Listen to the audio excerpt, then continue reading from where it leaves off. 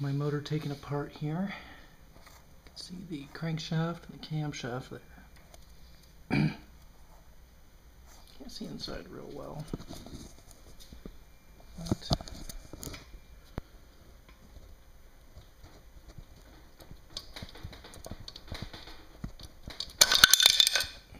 pop the camshaft out.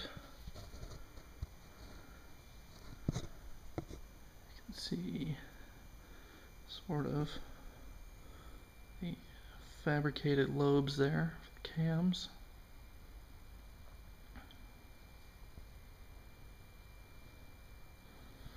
And for comparison,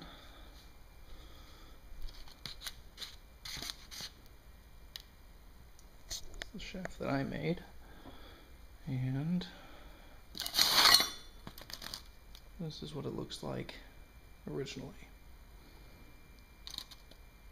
See, it's made out of some kind of hard plastic.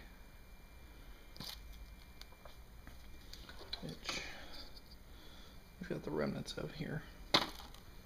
I cut it all off and just made them completely out of steel.